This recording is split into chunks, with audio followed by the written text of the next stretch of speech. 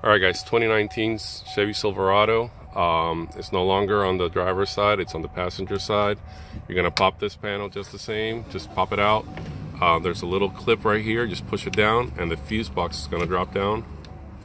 And you can mount, there's a little uh, ledge on top of the on top of the glove box behind it. And you can mount the tracker right there with some Velcro and uh, snap it back in. Um, red with a yellow stripe is constant and uh, purple with a white stripe is ignition.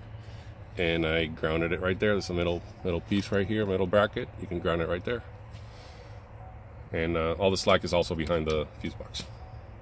That's it